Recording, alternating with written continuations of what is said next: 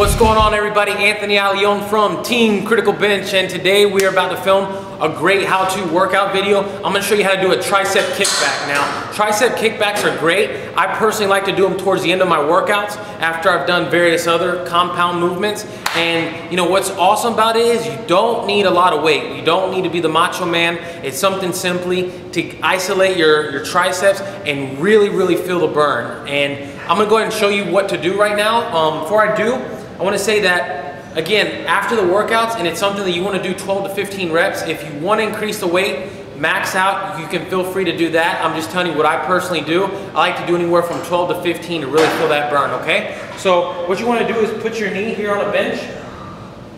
You can have your hand either here or here for better support. You want to have your back pretty, pretty straight, maybe a little bit of an arch upward.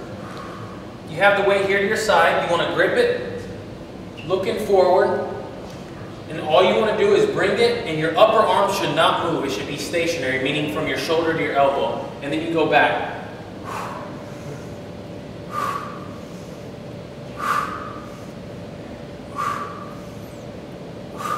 And then another great way to do it is to turn. I just showed you how to go back, then you can also turn it. So let me show you what I mean.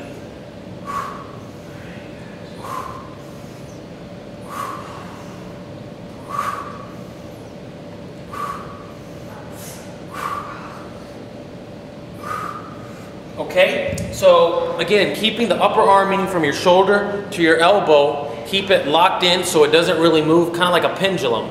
And all you simply do when I said to rotate it, sometimes you can go back like that, sometimes you can turn it, is to hit different angles of the tricep. There's different, obviously tricep, there's three muscles there. You can make sure you isolate certain ones and get better movements, all right? So I hope you guys enjoyed this how-to video. Anthony Allione signed off. Make sure and subscribe to this YouTube channel, and I'll see you later. Bye-bye.